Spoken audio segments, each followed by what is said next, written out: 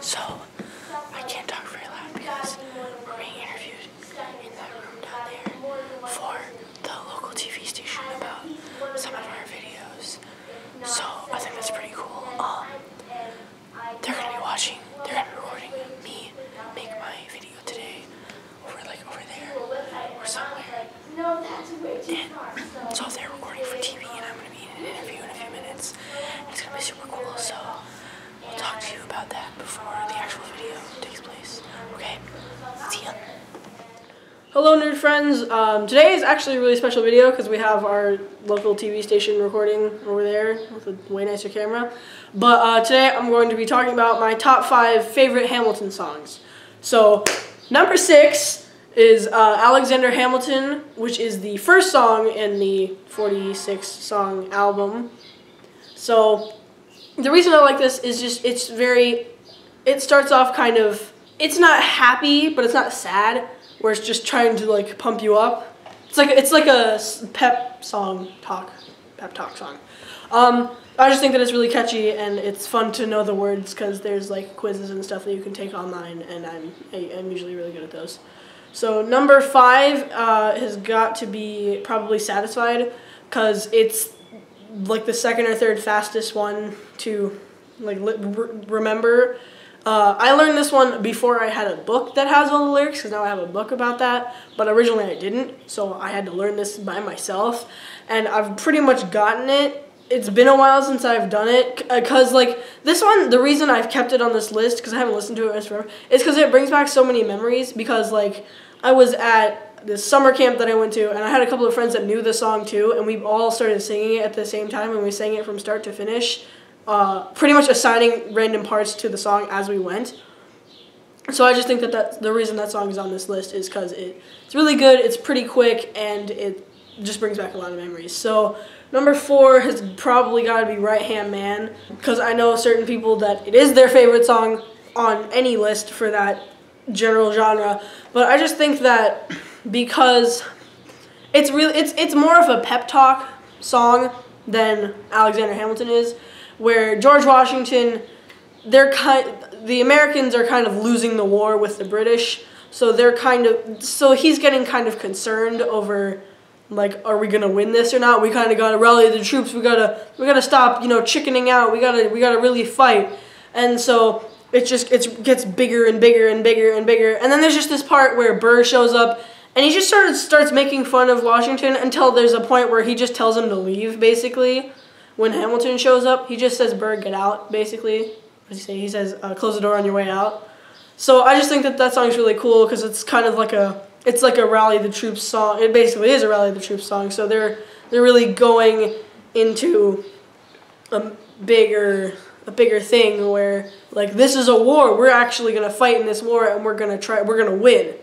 No matter what people say, we're gonna win. And no, who cares what people say? So yeah. Uh, number three is probably gonna be. I don't know why I'm saying probably. These are definitely. There is a list right here. It's not probably. It is definitely these songs. I came up with these. We're good. Number three is probably going to be Yorktown, because it is, it is the battle. It is the pretty much defining battle of the Revolutionary War, which is true historically. But I just think that this song is really cool because it starts as like, it's like quick, but it's quiet, and then it gets really big and crazy, and then we get to the actual battling part and it's really quick and really fast paced and loud and energetic. In that battle, they kind of know what's gonna happen because they have a spy a spy on the inside. Uh, if you get that joke, you, you're, you're awesome. Um, but that I just thought that part was really funny because just the things that were said is just hilarious. And if you haven't heard the song before, like when I first learned this, heard this song, I was really liking it, and then I heard that part and I just started laughing.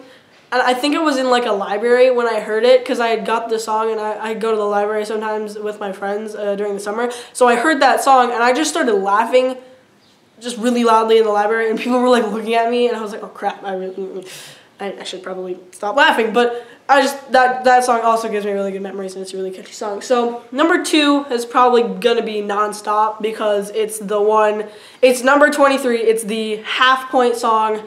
This is right after the war. This is kind of like a what are they doing now? And this is number 23, so there's still a whole half of a musical to go, but it's just it's kind of long, but it's it's good that it's long because it really it describes like right after the war, both Alexander and Burr go to New York and they become lawyers, pretty much next to each other. Not actually next to each other, but like in the same like district and like street basically. So they're super close, and Hamilton is still working on the United States Constitution.